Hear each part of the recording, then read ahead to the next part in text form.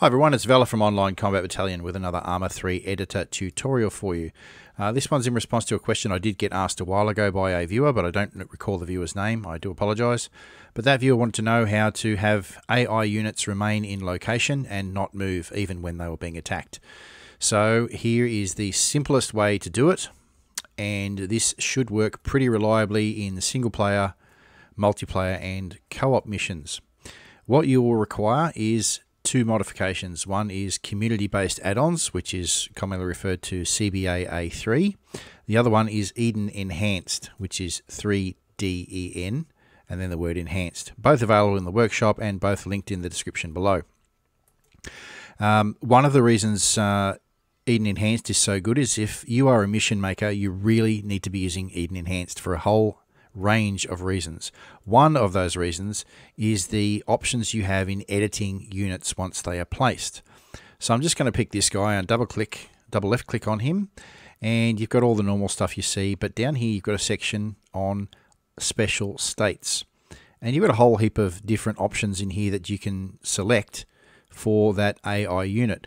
One of those is stay on position. So if that is ticked, then that AI unit will stay on position and not move. Uh, I'll just check the next guy. I think I've already set all these up. Yeah, they're all stay on position. So uh, even when attacked, these units will not move. They will remain exactly where they are. Whoopsie. So I'm going to move me, as in the playable unit, out of the way.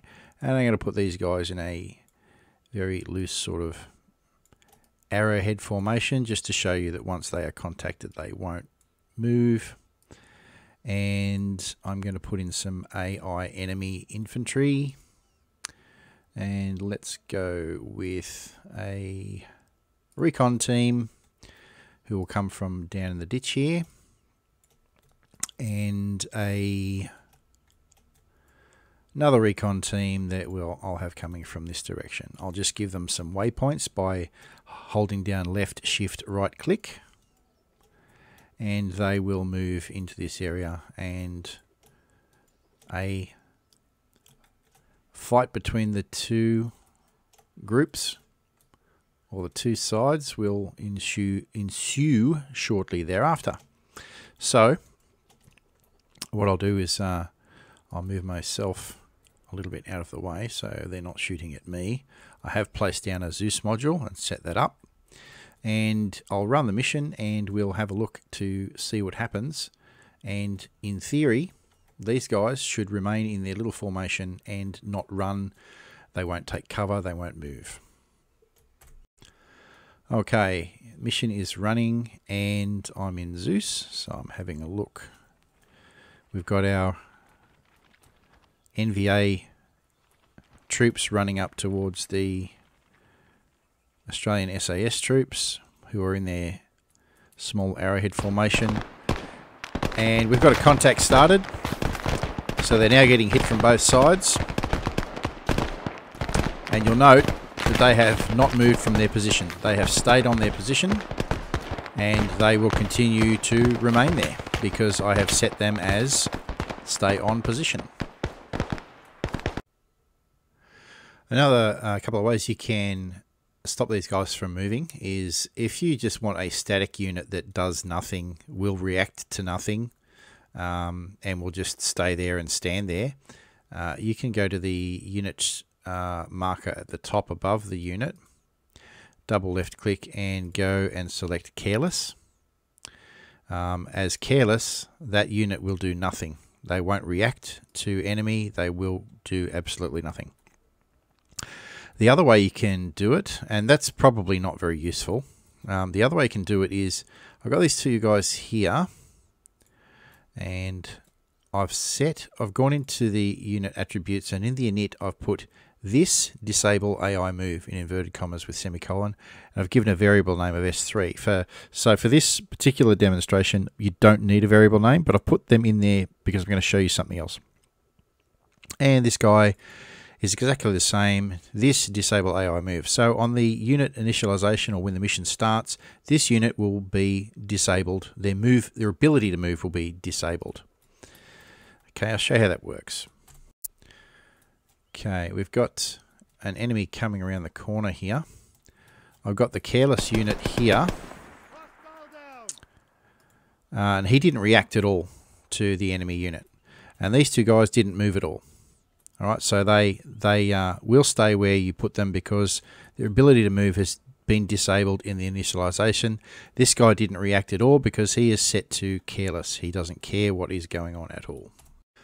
Now, the reason I gave the variable names of uh, S2 and S3 here, or you can have whatever variable names you like, is I've given them a move waypoint.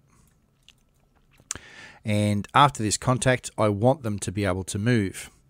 Uh, I've gone over this quite a few times in other tutorials, but I thought it might be worth just running over it quickly again for those who haven't seen my other tutorials. Okay, so I'm going to place a trigger here, and I'm going to make the activation type as any player present. And on activation, I'm going to say S2 enable AI move. And S3 enable AI move.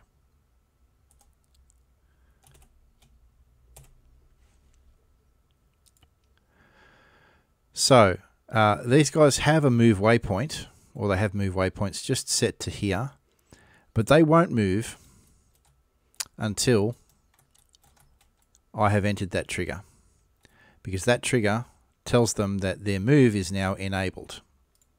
So I'll show you how that works. Okay, so we've got our enemy coming around the corner there. We've got our careless guy here who will do nothing. And we've got these two guys here that will react to the enemy contact, but they won't move from their location. Now I want them to move from their location, so I run into that trigger and they can now move to the waypoint I set for them. Pretty simple. Another little trick to activate that move trigger is to give this guy a variable name and we'll call him hmm, Kevin. And we'll go over here and to get these guys to move, I can set the activation to none and I can set the trigger condition as exclamation mark alive Kevin. So when Kevin is no longer alive, this trigger will fire and on activation it enables S1 and S3 to move, which are these two guys here. So when this dude gets taken out, these dudes will move to their waypoints and I'll show you how that works. So we're just waiting for Kevin to come around the corner. Uh, this dude is not going to do anything, as we've already seen. These two guys will react and engage. And Kevin's down. And now they're moving. Just another little couple of trigger tricks for you. Pretty simple stuff. One more thing you can do with Eden Enhanced, which is actually quite an awesome feature, is I'm just going to go back into the uh, attributes of this unit that I've set to careless, and I do that by clicking on the unit marker above him. I'm going to set his uh, state now to safe, which means he will react. But what I'm also going to do is go into the attributes here, double left click, and I'm going to set an ambient animation. Now this is one of the really cool features of Eden Enhanced. So I'm going to get him to um, listen to a briefing animation. Okay, so you can see he's already changed his stance. His weapon's now uh, slung on his pack. And he will go into an animation loop once the mission starts.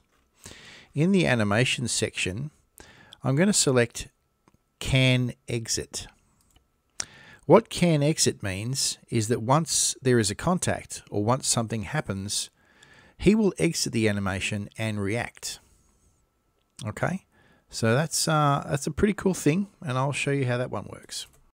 Okay, back in the mission, we have our guy there in his ambient animation.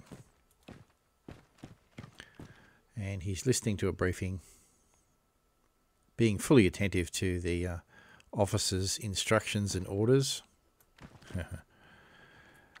uh, this dude's come around the corner. He's now exited his animation and he's reacted. And taken out Kevin and these guys, because Kevin's down, will now run to their waypoints because I moved them around the corner.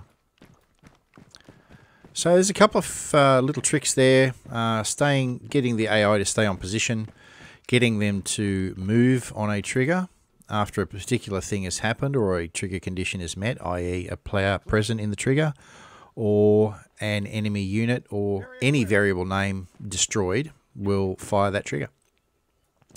Uh, I do have a stack of tutorial questions to get through and tutorials to make for them. I do apologize for how long it's taken me to get these out, but uh, there's a lot going on in real life at the moment, so um, I'm going to do my best to get through them as quickly as I can and produce a lot more content for you guys. I'm planning on uh, one tutorial per week um, for the foreseeable future. Thank you so much for watching. Uh, take care of each other, take care of yourself, and I'll see you in the next video.